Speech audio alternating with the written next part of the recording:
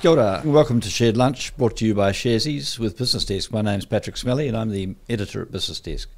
We have a great BusinessDesk special for listeners and viewers. You can find out about that at the end of this episode. Before we get started, though, here's some important information. Investing involves risk. You might lose the money you start with. We recommend talking to a licensed financial advisor. We also recommend reading product disclosure documents before deciding to invest. Everything you're about to see and hear is current at the time of recording. Today, we're joined by the Chief Executive and Principal Economist at Infometrics, Brad Olsen, to talk about the economy. Welcome, Brad. Thanks for having me. Good fun.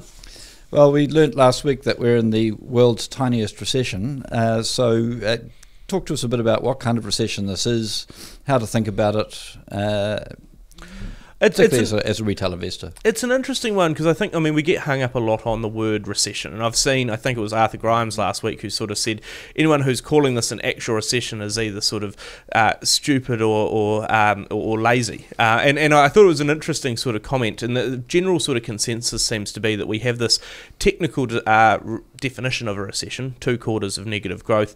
Uh, but until you start to see that pain in the economy, perhaps it's not a real recession, or it certainly doesn't feel as real to households.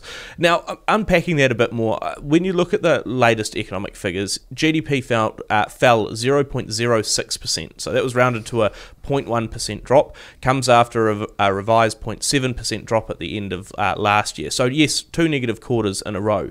You look at levels of economic activity, though, and they're still above where they were in mid 2022 or so. So, you know, you look at economic momentum and you say they're not going. Uh, as frantic as the start as the middle of last year, but also they're not. Uh, you know, we haven't moved down to 30 k's now from 100. We've sort of gone from maybe 105 down to the speed limit of 100 a little bit more.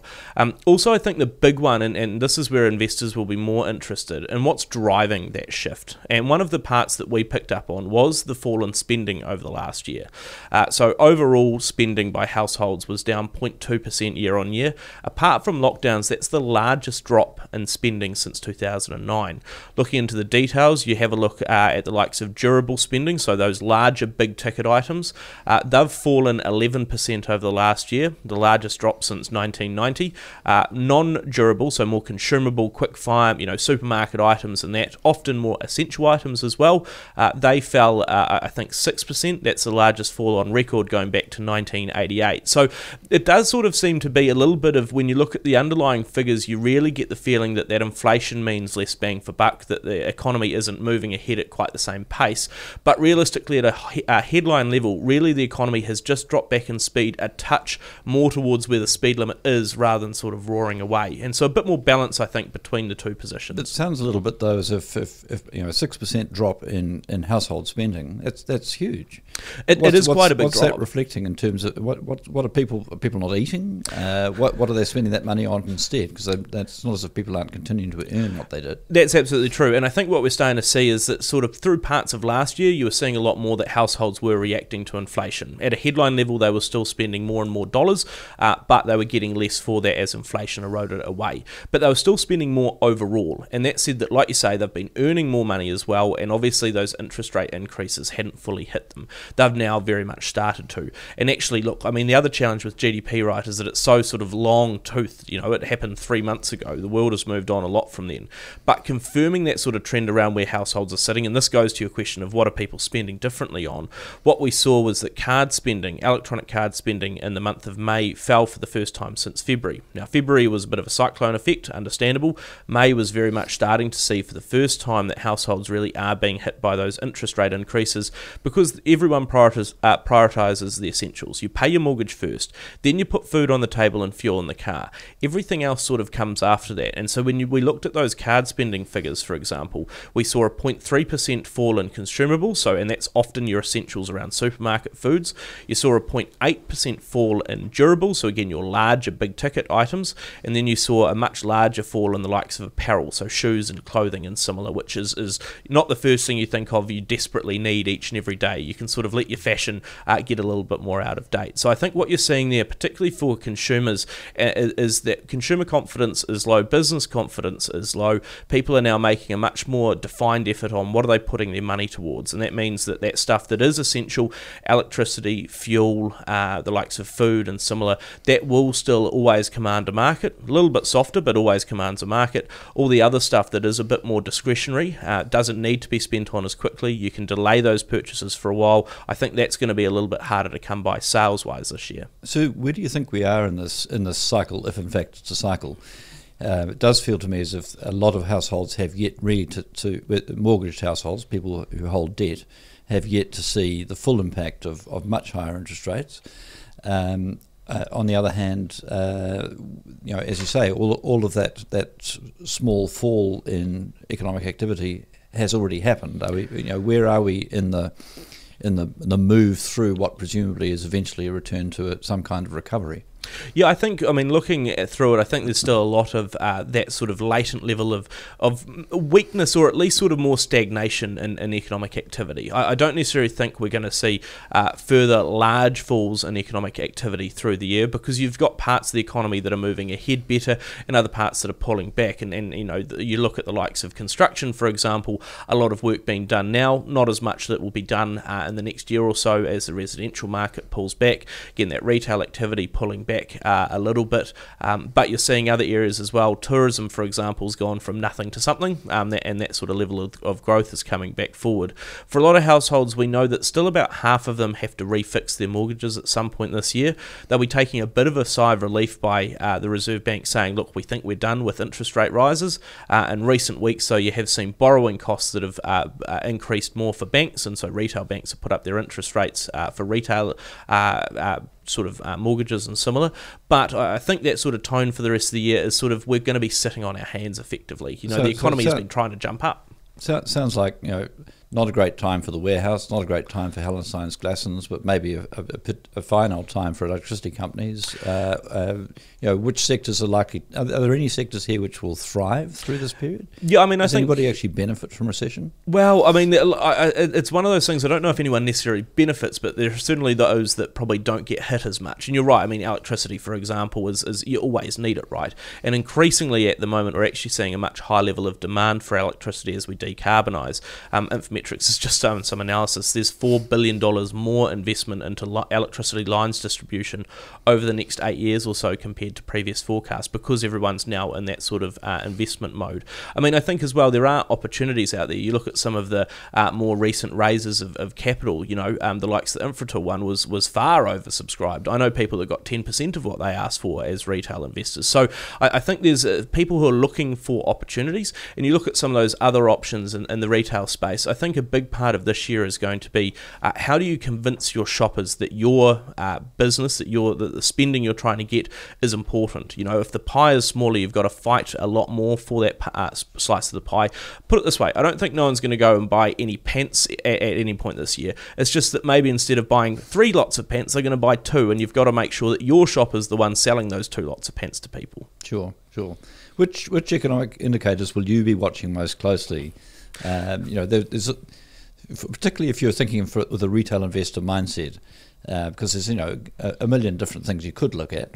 You know, there must be a few because I know the Brad the Brad Olsen uh, appro- approach to economic uh, indicators is to have some fairly odd ones up your sleeve your sleeve anyway. Yeah, you always try to. I mean, look, I do think the electronic cards one is, is a useful one. It just gives you a very clear and immediate read on, on what spending uh, is, is doing. And I think that tells you a little bit about consumer confidence as well.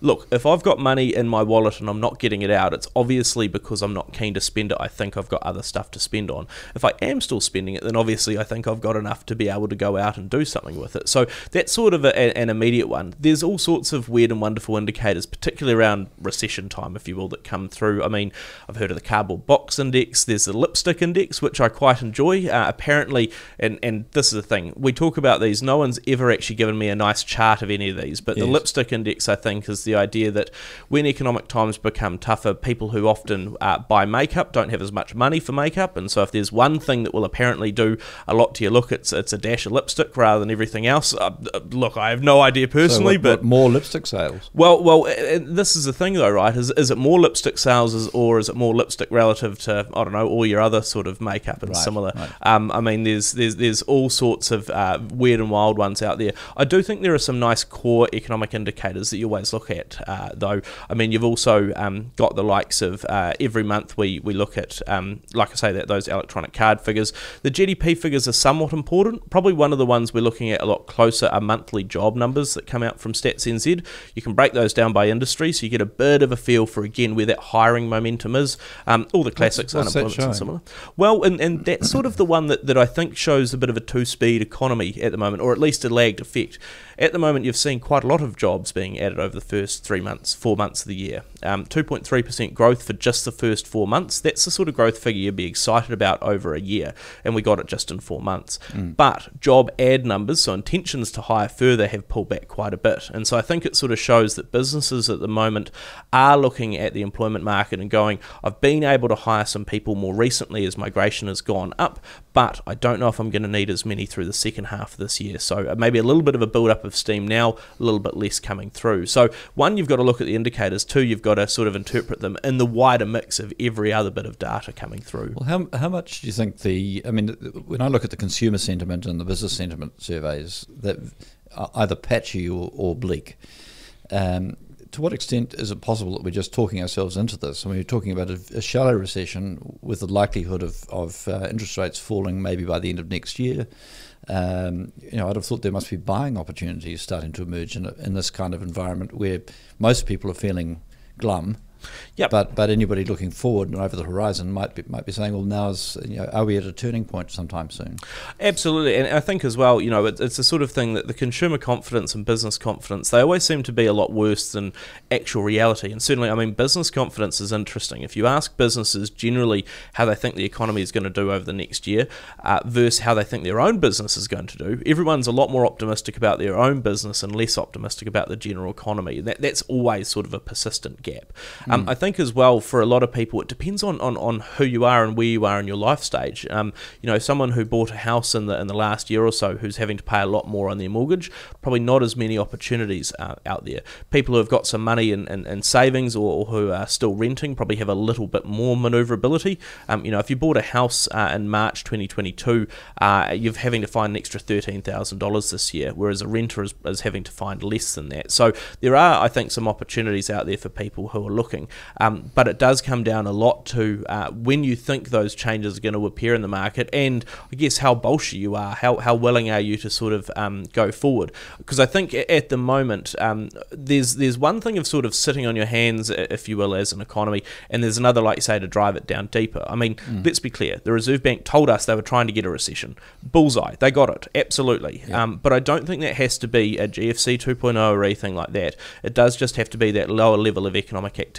I think sort of as this year progresses, uh, people, like you say, will be looking for more opportunities, and it will be a lot more, I think, uh, pick a path for a lot of people where they're mm. looking at, you know, what are those various drivers, what industries are going to come forward. I mean, tech, for example, has been shedding staff. There's lower spending in that sort of area, so I think people are a little bit more reluctant. But equally, we know that there are developments over time. We can only pull so many things out of the ground, whereas those weightless exports, especially for New Zealand, have big opportunities. So I think you know people after doing a little bit of homework will we'll see that there are still opportunities out there. You just got to have your wits about you. So when when will we know that we're on the mend? I mean, I, I look at things like um, an expectation that interest rates have peaked, and a lot of chat about house prices having finished their their uh, relative plummet of the last eighteen months or so.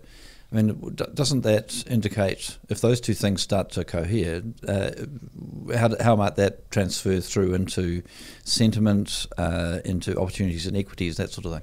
Yeah, I mean, there's definitely part of it that, and especially the migration boost that we're seeing come through at the moment. The fact that the labour market is still strong. I mean, you know, we're expecting to see the unemployment rate rise a touch, but in historical terms, it's still going to be at a better level, not a great level, but a better level than a lot of other times. Um, I think for a, quite a few people, it's probably still another three to six months before you really get that feeling of exactly where the economy is sitting, um, and that's in fact where we think the Reserve Bank's probably sitting as well. I mean, those guys are trying to figure out where the economy uh, is is going as well. Uh, and certainly in our mind, um, there's not a lot of data that you get between now and November that would definitively tell you if you think you're on a better path. There's well, sort of a little the biggest piece down. of data we'll get is an election result. How important is that? Do you think to, well, to sentiment? I mean, I mean, you, you you know as well as I do that I, I feel like political parties sort of you know promise the earth and then get in, and, and there's not as much of an ability to make those changes immediately. And I sort of say that, but I think that probably in terms of um, you know what happens in the election, there's probably almost a period where, that we're entering now until October where people uh, again don't do as much. They sort of settle down a little bit, waiting for the election result to come through, more because there might be different opportunities that come through depending on who's in power and what policies actually make it through. Um, I think the housing one is probably an area that people are a lot more focused on. There are quite different options on the table depending on the government that could be formed uh, after October. But I think as well, I mean, let's not forget some of the other core economic challenges. I mean, inflation is still high. Food price inflation yeah. was 12.1% uh, in the month of May. I mean, slightly better than 12 12.5, but still around what it was when we introduced GST back in the uh, in the late 80s. So I think for a lot of households, again, um, there are people who are going to be struggling with some of the essentials. There's others that'll be looking for opportunities, and I think probably the risk profile at the moment is moving into a position where previously you couldn't see the top. You had no idea when interest rate rises were going to end. There was just huge levels of challenge. Whereas now I think people are seeing, okay, the Reserve Bank has stopped, the Federal Reserve has taken a pause. Maybe maybe there is more opportunity to enter. And maybe as that sort of level of competition heats up in the market, because you're having to work harder for the sales that are coming through, maybe that does provide a bit more opportunity, particularly if you can see some strong leadership in an industry or a sector uh, where they are sort of looking at how you move forward, how you bring consumers along with you, how you extract that dollar. I mean, when you're investing in a business, you want that business to succeed. If there's not someone who's pushing a business to succeed, it probably doesn't have a great shelf life. What do you think the uh, the mindset of an of an investor or a saver might be at the moment? I mean, if you're a if you're a cashed up person uh, or have some money to invest, uh, the change from like a one percent term deposit rate for a couple of years to six percent plus is is an extraordinary improvement may not be quite keeping up with inflation, but it's an extraordinary improvement on where we've been. Well, and also better than a lot of other investment options, right? You put your money into a house at the moment, it's going down. Not yes. as much, but it's still going down. And even the stock market is sort of not in the in the most perfect position where previously it was just sort of rocketing upwards. I think that term deposit one is an area where I think increasingly people through the pandemic have had a lot of challenges right in front of them. And that's, I think, uh, spurred a bit of hesitancy. You've seen with the cyclones recently as well, a real focus uh, around resilience. I think for a lot of people, that probably says, look, if there is a good term deposit rate, maybe you sort of put a bit in. That's your emergency fund and sort of the thing you do first. And then afterwards, though, you don't you don't put all of it in there. You're still looking for those opportunities over the longer term. That's I think a focus area for a lot of but investors. That, that Infratil recent Infratil capital raise really interesting to see people piling into quite the extent that they did. What do you think uh, made that attractive? Given that, given that it's probably not returning that much more and has more risk attached than uh, than a, a you know a well priced term deposit rate. I, I, think for a lot of people, there probably is a live, live, little bit of patriotism in, in, in, there. You know, it's a New Zealand company and, and similar that they were um, investing in with One New Zealand. Um, but also, I think the technological advances that are coming through. Uh, again, there are big opportunities there. You know, um, thinking about getting into sort of you know satellite connectivity, but more broadly as well. I mean, you, you look at some of those areas where there have been greater investments in you know data farms and, and data warehouses and uh, renewable energy and similar um, over time. I, I, think there's sort of a, still a, a focus on that. Probably not as uh, much as, as sort of in 21 and 22 when there was a real green focus, if you will, but now seems to have a, a slightly, um, I think people are pursuing that sort of uh, more broad strategy and where they can sort of buy into something that they've heard a lot about, they know a lot about, it's a little bit closer to home, they understand the conditions a bit more. I think that's where people's comfort levels probably sit. Yeah. Do you think do you think business cycles exist anymore? And if they if they if they do, are we in a cycle at this stage? Where are we in it? I think there probably are business cycles, but I think business cycles are, you know, get knocked off their bike, uh, if, if you will excuse the poor pun, by the likes of weather events, by pandemics and, and similar. So, I mean, there's there's some natural business cycles, there's some sort of outside induced challenges as well. I think for a, a lot of businesses, though, one of the things that seems um, difficult at the moment is that margins have been crimped by high inflation and similar. There has been a bit of catch up and, and, and what have you that's been provided. But I think a lot of people now are in that sort of low period, uh, given interest rates have been high, and going, look, I'm still looking to grow, but for the next next year or so, I might be not only capacity constrained but sort of sales constrained. What's the role of the banks in this recession? It, they, you know, they do seem very cautious, particularly on business lending. Uh, at what point might we see a little less caution uh, in that sector? Do you think? I think there's a few challenges that come through in terms of look. I think banks should be um, a lot more sort of proactive in getting out there. I think they are a lot more reserved, though. I mean, part of it is that they've got to hold higher capital over time. That means that they've sort of got a bit of an aversion to, to being too uh, forthright on the lending front, and also to sort of bring in those bigger profits and, and keep themselves capitalised. On the housing front, I mean, let's be real, they've made billions of dollars in profits over time. If they then start turfing out New Zealanders who are struggling to make their mortgage repayments and similar, they are going to lose their social license faster than anything. And I think it says that over the year, as there are more people that become stressed, and, and we're seeing that already, I think that has to be a focus for the banks, that they have to be willing to sort of stand up and find some ways through. Um, at the same time, I think the business lending is an interesting one, particularly, I mean, let's talk post cyclone for a minute, because there's been some big changes around there. And it seems like you've sort of got that Spider Man uh, meme of, of everyone pointing at each other. You've got the government pointing at insurers, you've got the insurers pointing at banks, you've got the banks pointing at the government, and, and uh, vice versa, sort of saying it's your responsibility. And I think it's one of those interesting ones where the banks are, are probably holding back a little bit more um, in terms of letting investors, uh, sorry, insurers and the government decide on, on what needs to happen happen next. But banks have a big vested interest in this. You know, they've got money behind these businesses. They want to see them uh, progress.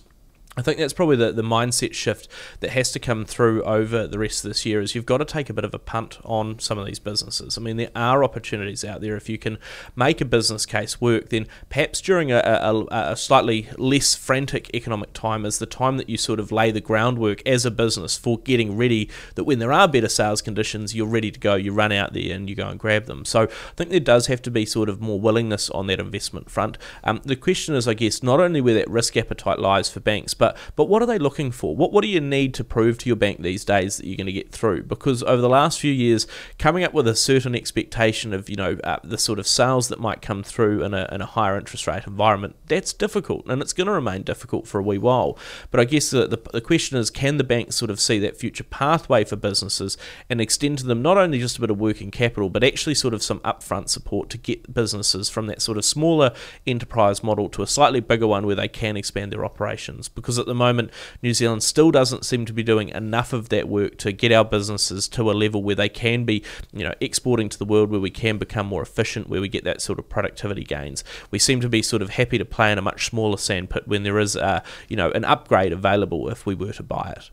Let's talk a bit, a little bit for a moment about debt because one of the um, sort of memes out there. It's almost a political rather than a rather than an economic discussion. Is is New Zealand too indebted? There's a lot of concern about how much the government created in terms of new debt during COVID. Uh, a sense that the country is is uh, overly indebted, and yet, uh, apart from the balance of payments uh, deficit, which definitely shows a high level of private indebtedness, there's not much to suggest that our fiscal settings are, are particularly unusual or even particularly bad. Can you just unpick all that a bit, a little bit for us? To yeah. know what should we worry about? What should we not worry about? I mean, I think it's one of those things. Certainly on the government debt side, you know, are we overly or are we too indebted? No, you know, we haven't had a credit downgrade or anything like that because of government finances.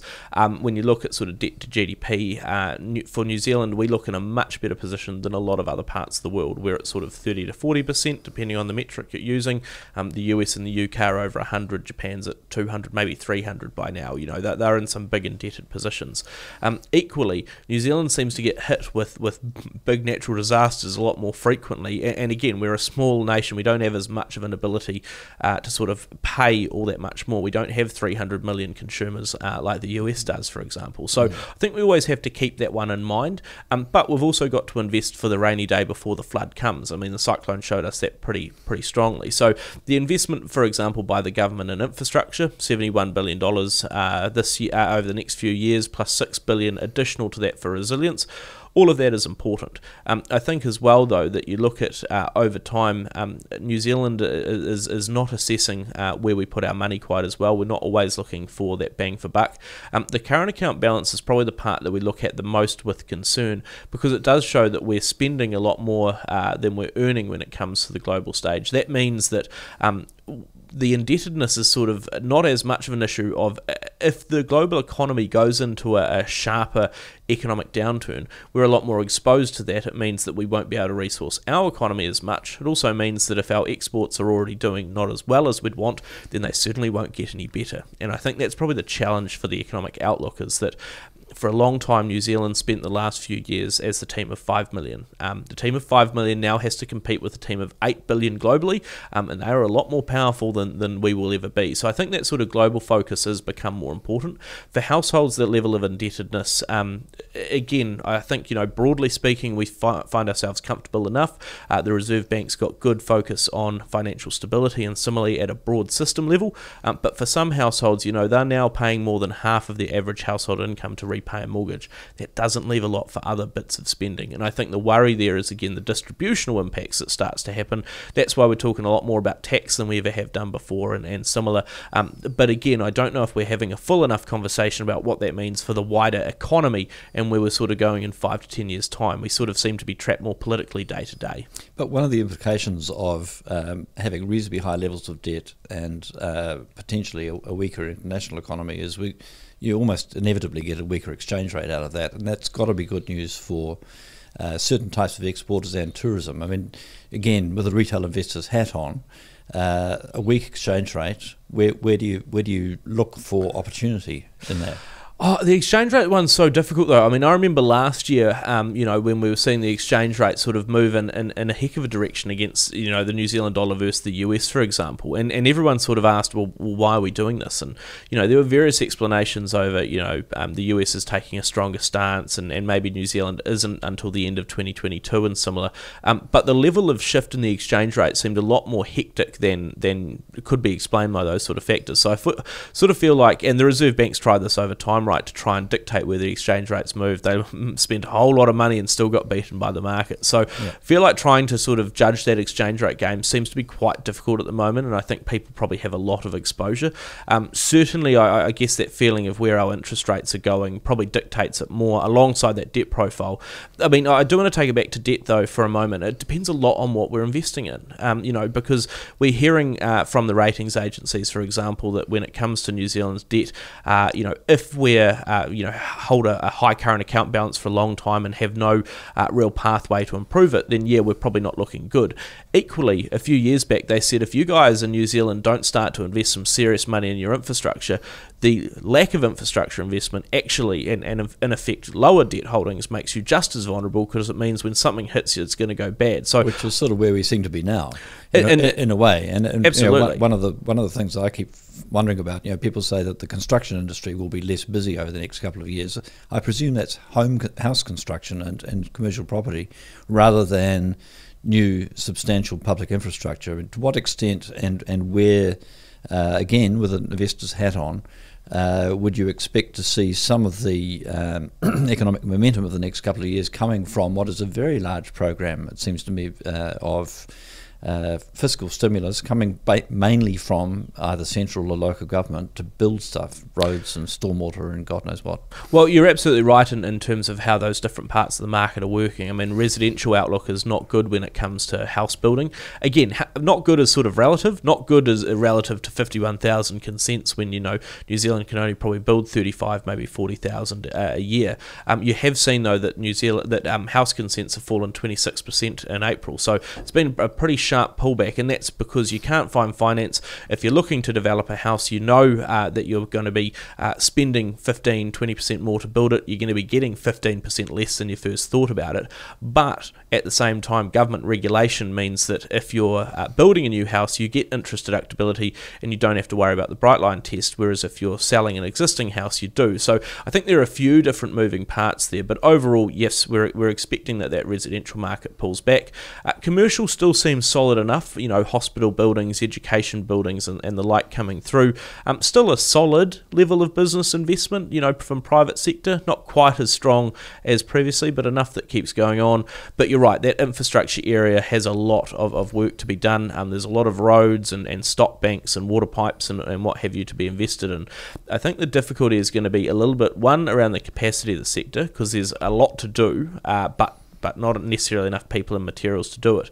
Uh, but secondly, I think is around what what is the prioritisation. I was a little bit perturbed when we uh, were in the budget lockup. We were looking through all the uh, glorious budget documents uh, on, on, in May, and we saw all this high level of um, investment into infrastructure, which was good. Uh, government's still taking until 2025 though to decide the priorities, and it sort of says if it's 2025 to decide the priorities, it's another three years to then design the flipping things, and then you go even further, and it takes longer to build them. You know, we're, we're in the start of a pathway of probably 10 years worth of infrastructure investment. That's good, but it does take a while, and I think for people there will be a frustration of how long it takes. You know, a building, a, a house takes nine months to knock mm. up. Um, infrastructure takes a fair bit longer. But for for an investor's mindset, you'd say anything looks like substantial public infrastructure is probably uh, there's upside there. Absolutely, and I think particularly when it's in that transport area where you know that benefits our uh, supply and logistics sort of operations because they'll be able to move more stuff. It opens up more opportunities in the retail market because there is that sort of ability to develop. Uh, when it comes to manufacturing and similar, again you get those those sort of opportunities. And if you're anywhere near the infrastructure sector, either a provider into or a, or a user of or similar, then yes, there are further developments uh, that come through. And I think you know there are a number of New Zealand companies that are operating in that space where there is is more investment. Um, and increasingly, we're looking offshore to where are there sort of skills and opportunities that we can bring that sort of stuff in. So it sort of brings us to the immigration question. I mean, I don't think there's anything more surprising to me than the complete turnaround in immigration. Um, how to, to what you know do you think that we are seeing pent up demand that's going to sort of uh, ease off a little bit in the next few months, or is, or is this are we back to where we were pre pre COVID, which is basically importing large numbers of people to make up for the fact that that uh, people who started off in New Zealand are tending to want to leave? Well, and this is the thing. I mean, we always have a brain drain, right? It's just that normally that brain drain is more than counted for. It does by... seem to, to, me that we've forgotten that we have always had a brain drain. Oh, it's, com- it's like it's a new phenomenon. It's completely, and, and well, I think it's also a sort of thing when you have you know those numbers of arrivals coming in that, that go back to very low levels. Um, we saw the the number of New New Zealand of people departing from New Zealand as migrants got back to normal, if you will, quite quickly. And so I think mm. the feeling was, why aren't we seeing internationals do the same? And now now we have, just with a big delayed effect.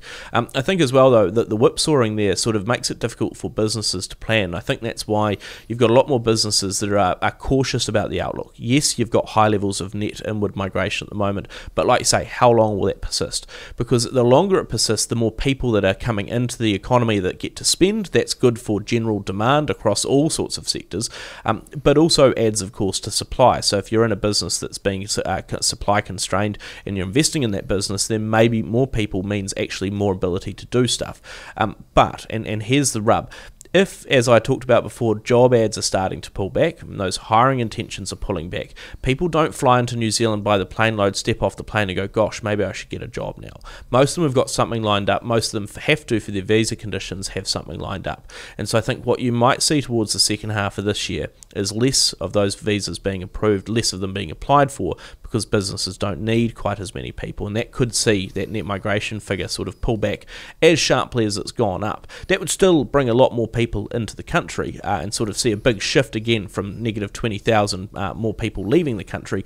But I think in general it is one of those things where uh, on the economic side it adds to both supply and demand, so it probably adds a little bit more to the latent levels of how much spending might be going on, uh, but also yep. for some sectors gives them a lot more skills to do stuff with. Yes, as, as Adrian also memorably put it that we're tightening our belts, but there are more belts. Correct. Uh, I think it's interesting as well where that sort of focus is coming from. You see a, a much greater level of uh, inward migration on the likes of the construction side, and we were just talking about infrastructure, um, also on the likes of health and hospitality. So those areas that again have probably a little bit more uh, supply coming into them after a time when they have been constrained and there has been difficulties. So I think interesting to see how the sort of sector by sector, industry by industry dynamic plays out as well. There's just one last set of questions around our global trade opportunities. Um, we're seeing a number of things happening all at once, it seems to me. We've got uh, tension between the United States and China, which is becoming, you know, if you live in America, you think you're at war, apparently, uh, which is drawing us towards American capital, American technologies, or, Euro- or Western technologies. Um, we're also seeing Chinese consumers starting to be much more patriotic about what they want to want to eat and buy and consume. Um, are you starting to see anything in the in the numbers or in where investment is occurring, which tends to reflect that in terms of where New Zealand's uh, growth trajectory uh, looks to be going? I think it's interesting on the trade front. I mean, obviously, China is hugely important to New Zealand's uh, economic activities. You know, a third of all of our goods trade goes over there.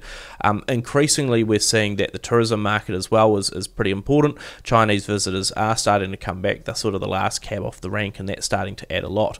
I think the difficulty is where that demand goes as uh, the global economy starts to slow down. So, you know, we're already seeing, for example, forestry uh, exports haven't been performing as well. Log prices have fallen. Uh, the Chinese property market hasn't been as strong. You look at dairy as well, also pulling back into a into a slightly softer position. Uh, meat's doing all right, but but again more challenged. Horticulture, um, you know, you look at the likes of kiwi fruit and what have you.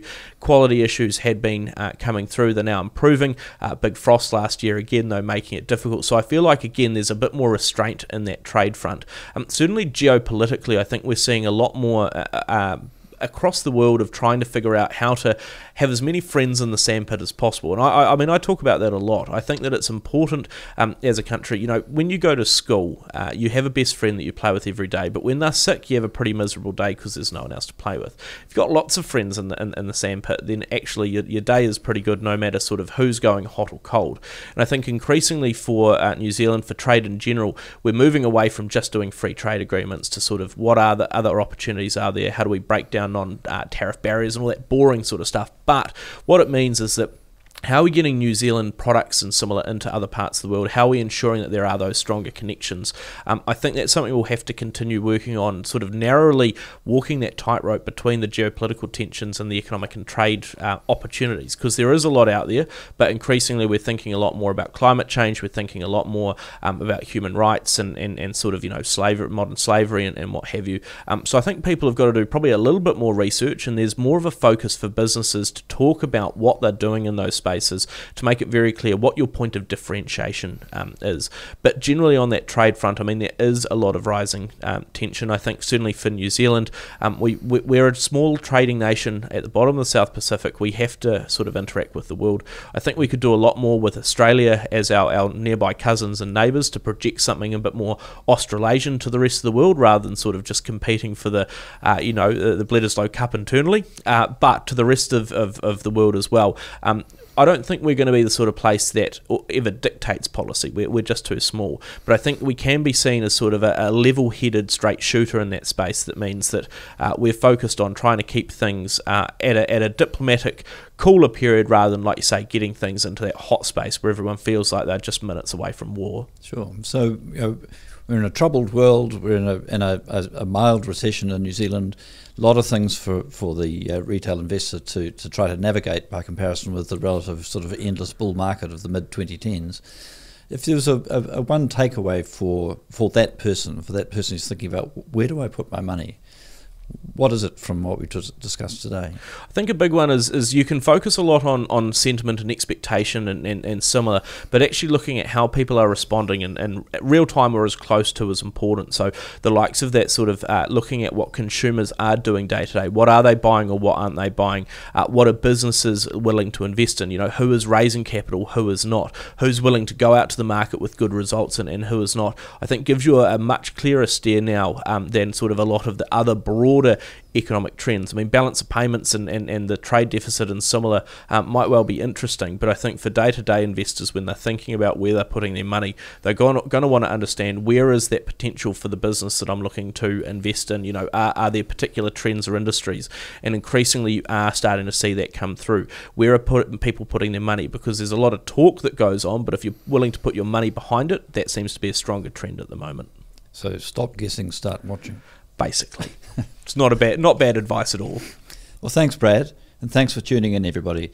If you listen on Apple or Spotify, we'd love you to give us a rating, a quick rating and review. Uh, these really help more people to hear about this podcast and learn about growing their wealth over the long term. Also, uh, if you're keen, we have a special offer for Sharesies investors from BusinessDesk. If you use the promo code SharedLunch2023, all one word, you'll get $100 off an annual subscription to BusinessDesk, which is usually 249 including GST. The, the offer only applies to new BusinessDesk subscribers, can only be used once per subscriber, and can't be used with any other offer. Enjoy the rest of your week.